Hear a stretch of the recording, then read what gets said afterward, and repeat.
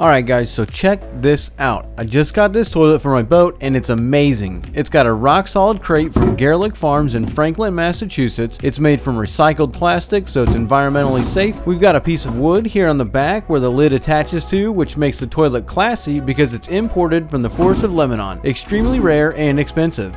The lid and seat come from Bemis. It's the easy clean and change, which makes it simple to keep clean, but then it's got tons of room for a bucket that you can put in here so you can sit down and do your business with the utmost comfort and just a high quality experience for when you gotta go offshore. It's super durable, reliable, guaranteed to last for years to come. Now don't forget to subscribe.